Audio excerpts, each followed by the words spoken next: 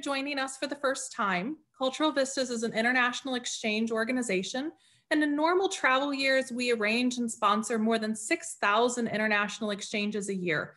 Traditionally, we work with more than 1,000 different host companies all across the United States, focusing on experiential learning opportunities. So today's forum was created for companies who host international interns on professional exchange programs that have converted to virtual formats or companies that are considering hosting interns virtually. The purpose of today's webinar is to look at the future of virtual work from a high level perspective. We want to share best practices on getting set up in a virtual internship experience, supporting your interns in the best ways possible, and designing a program that will be impactful for both the intern and the organization. So we will start with the kickoff discussion in just a moment, but before we do, a couple of housekeeping notes. We are in a meeting setting and we will keep you muted during the main session until Q&A. And during the Q&A session, if we call your name, we would like you to unmute and ask it. If you'd prefer, you can also ask the question directly in the chat. We'll remind you of these instructions later as well. We will break out into two sessions, and this has been determined by the information you have provided during registration. But we will record both sessions and make the recordings uh, make the recordings public. At the end of the forum, we will have a calendar link available for those who would like additional time with Cultural Vistas staff to ask questions for a 15 minute one-on-one meeting. This is a great way for us to provide you direct answers to your questions for your specific organization. As always, please be patient with our tech issues and send a note in the chat if we can help. We're happy to try our best. So without further ado, it's now my sincere honor to introduce TH Vice President of Global Integration. TH has strong content expertise and wide global experience in creating highly engaging workshops and client relationships. TH was born and raised in Singapore and has lived and worked in numerous cities in the US as well as across Asia Pacific region. Global integration is an expert in training in remote and virtual teams, matrix management, and agile and di digital leadership to companies in our increasingly connected workforce. So welcome TH, thank you for joining us. Hey, hi Elizabeth. An honor and a pleasure to be here always to chat with you. So TH, to start off today, I have maybe an easier question. We'll get a little harder as we go if you're an organization who has hosted interns in the past, but maybe you're on the fence deciding whether to host a remote intern because you think it may be a lot of work to supervise, what are ways you can streamline this process? And what excites you most about this new way of working? Um, I'll answer um, straight and, and accurate, as you know me. Uh, by training and education, I'm a chemical engineer. So I like to say I start off with the facts first and I'll explain the data. So um, I like the way you, you phrase it and thinking that how could you make it easier and streamlining. I will be lying to you if I say it's going to be easy. Um, I think it's going to be different which means the effort that you put in in a face-to-face kind of um, internship or for that matter any kind of face-to-face work relationship is going to be slightly transformed into a virtual one. So i don't know if easy and difficult it's a relative but i think it requires intention and attention and that links to what your second part of your question is, which is how do you how do we see this? And I, I will again say, how should we see this as we look at virtual remote way of working? I'm sure all of us, all of you sitting today with, with us uh, right now have heard this uh, numerous times that over the last 12 months to 18 months, uh, what has happened is only a catalyst an accelerator of what has already been working in the background. And uh, pardon my language, I always say we uh, just all got a kick in the you know what to move a little bit faster to join what we at Global Integration has known for about 24, 25 years that remote virtual working is going to be part, and I won't say all, but it's going to be part. I think that's the trend that we are seeing, and that's the trend that we are uh, uh, hearing from our clients working all around the world in different industries.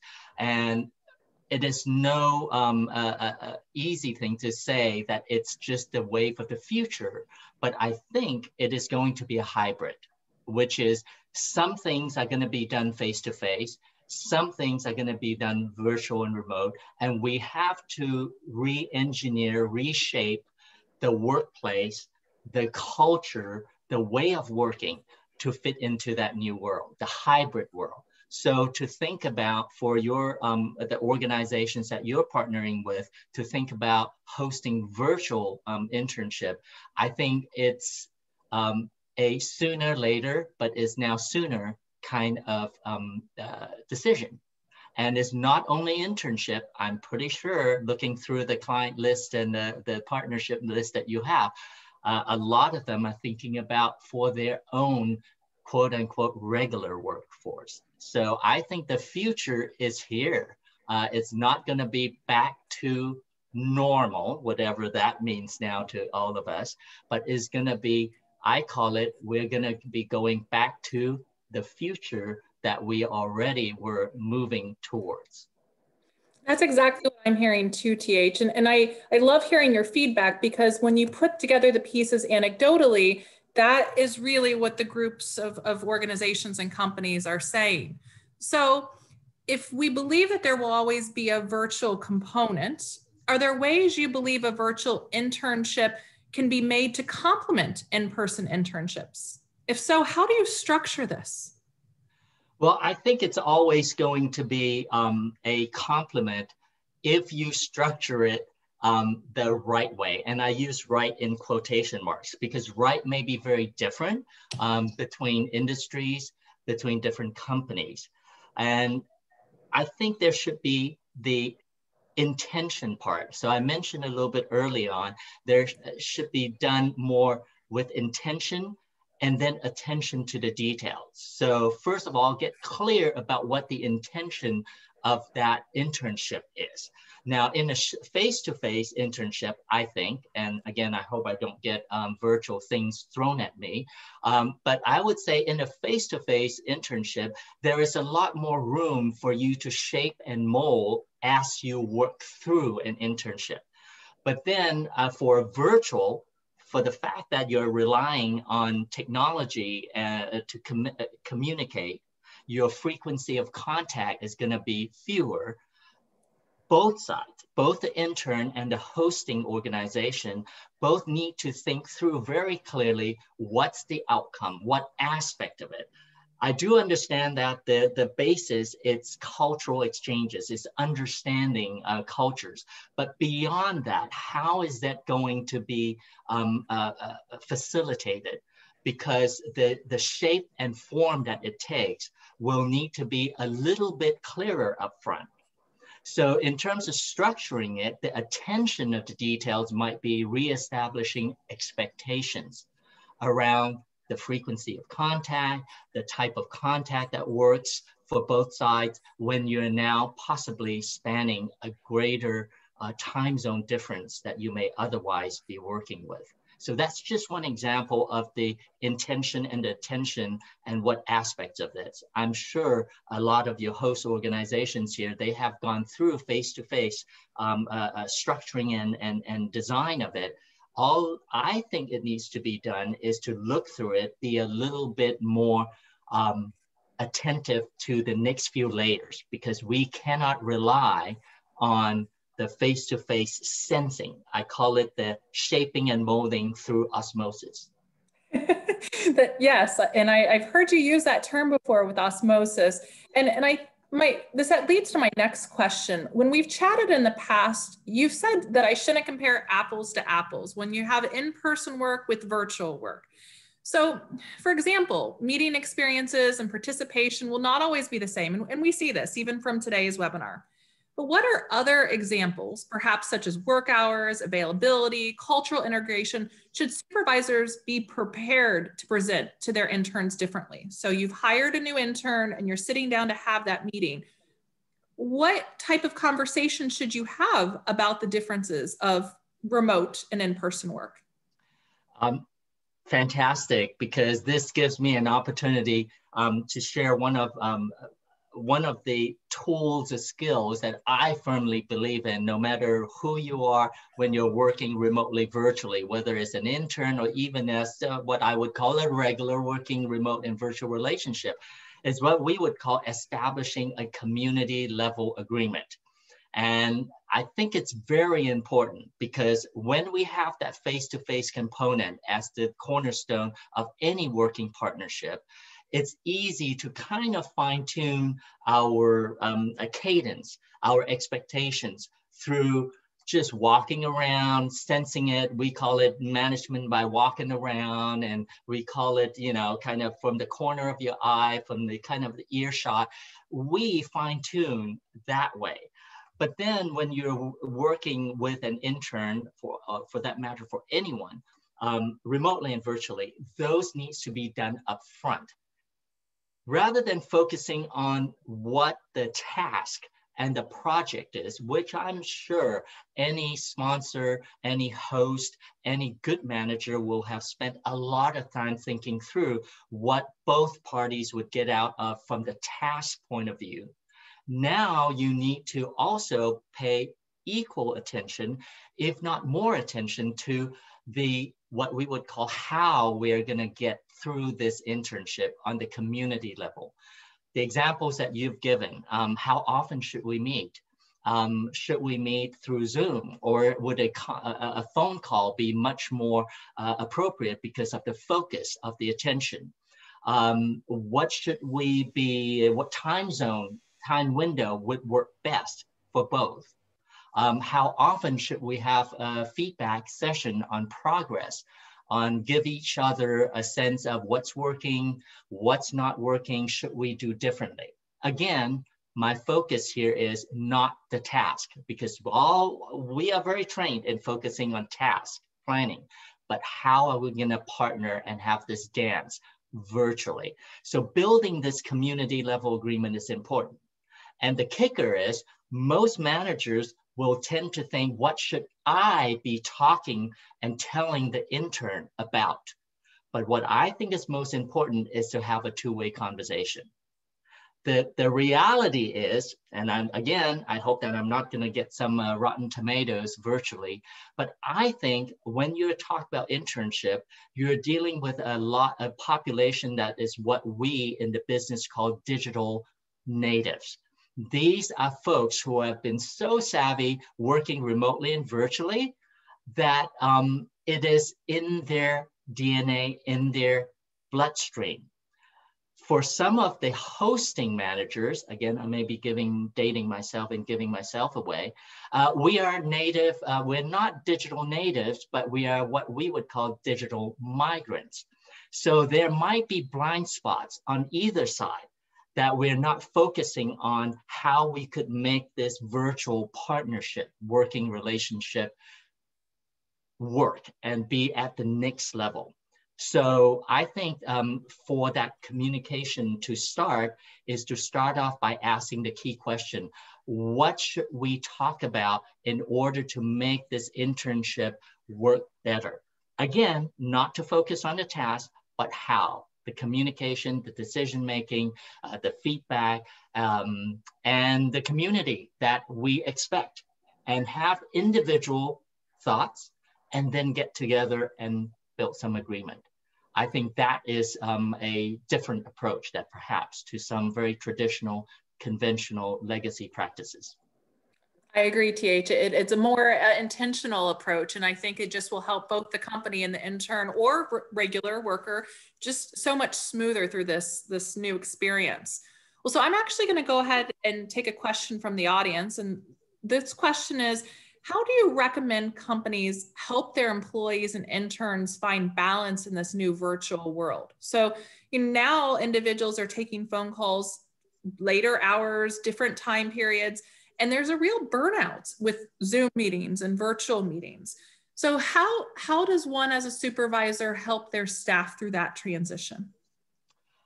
I think one of the, um, the, one of the keys, of course, there's so many different aspects of it, and I hate this part of it because it sounds like I'm dispensing quick magic pills to everyone, everywhere, on everything. Uh, I'm just going to share a couple of what I would call philosophy and principle, and it needs to be adapted and adopted in different ways. So the first principle that I think we need to kind of retune and recalibrate the mindset is it's not a one size fits all and do not have this guilt in you or the intern himself or herself having that guilt of saying, if I do this, we have to do it for everyone. That links back to what you were uh, opening up um, early on with about our conversation, talking about you cannot create the same experience, and neither should you. So that's the first thing is to release yourself from saying, if I do this, I have to do it for everyone. Or if I do this, I have to do it all the time throughout the six months or eight months or six weeks or 60 weeks. So relieve yourself from that and build that agreement and be able to tune it. Give yourself the permission to tune it. So the second principle that I will share in terms of making it work and striking the balance is that do not make assumptions as far as the preferences. So examples that um, we oftentimes give would be, well, if I'm a digital migrant, I would say, well, well, we have regular working hours. So it's bad to have conversations outside of those because I'm going to be very considerate. If I'm a digital native, I may think that, hey, I'm on 24 hours a day, whether with you or not. And there might be windows that as absolutely different um, by different demographics that I would be wanting and feel comfortable totally to have a conversation to work. So I think um, releasing yourself from that, there is a one size fits all, may create more opportunity and creativity around making what seemingly is a, a, a more difficult um, a virtual working relationship work even better because you can have more opportunities, more windows. But the key is how do you get that mutual conversation to work? What great advice, TH. Thank you. I've got one more question from the audience if you have time for us. Um, sure, always. So, what is the best investment for a company to make looking to transition to virtual internship programs or into virtual project based collaboration? So, if you're starting to get into this space or you want to be more intentional, what's the best investment the company can make? I think um, sorry if I'm gonna wear my uh, consultant hat. Um, consultants, we love models, you know that. Um, some of you even pay us for those models. So I'm gonna drop a little model in response to that question that you just posed, is that if you're putting an investment, there are only four things that most organizations will invest in. Um, strategy, structure, systems, and skills and behaviors. So those are the four areas that most managers organization will say, where do I put my attention? Whether it's resources, time, money, and people. So your question is, where should I focus on? My observation experience is most organizations, whether it's limited to internship or the greater management leadership philosophy, is that we have spent a lot of time, money, and people on strategy, structure, and systems. So that's been taken care of. That's an assumption. Call me naive. That's enough attention on those three. But I would invest in changing the behaviors, the skill set to fit into this um, new way. I use new again in a very cliche, passe word. Uh, this new way of working, which is remote and virtual. It's not about just having the technology to connect and Zoom is not about just emailing, it's not about replicating, it's about a change of mindset and heart set and create a new way of working. So that's where I would spend time, both in the hosting organization and creating the uh, uh skill set in the interns um, uh, end of the equation. It wouldn't have been an obvious answer to me, TH, but you're so right. Now that I've thought through the process, this is exactly what the companies need to be thinking of first. So thank you, TH, for your time today. It's just, it's been such a delight to talk to you as always. So before we get into breakouts, I want to let everyone know that both sessions will be recorded. And in addition, after the sessions, you will receive additional resources. TH has created some, and some of the panelists have also provided additional resources that we will provide to you in a follow-up. We also want to remind you that you're welcome to sign up for a 15 minute consultation after this through a Calendly link that you will receive. So now to the breakout groups. Each of our speakers has a different area of expertise that they're to share, and we hope that you learn a lot just by hearing from them directly. So to lead these discussions, my colleagues Nancy Ongstad and Keenan Couture will moderate.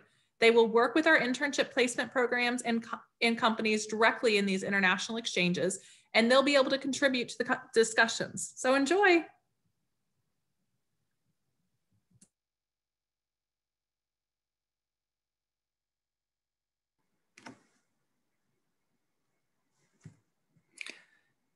Okay, it looks like everyone is back in the room. And I, I want to just wrap up by saying thank you so much for joining us this afternoon. I hope it was as informative to you as it was to me. I know I've taken many notes and I, I have lots of brainstorming to do from all of the information I learned from our speakers today. I also want to express my gratitude to the speakers and panelists for spending their time and expertise with us.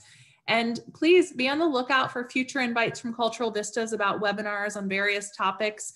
And you will be receiving a follow-up um, communication from us that will have slides and other um, information provided by our speakers today, and the ability to sign up for a 15-minute consultation through a Calendarly invite. So thank you again. I hope you have a great evening, afternoon, morning. Thank you. Bye. Thank you, everyone.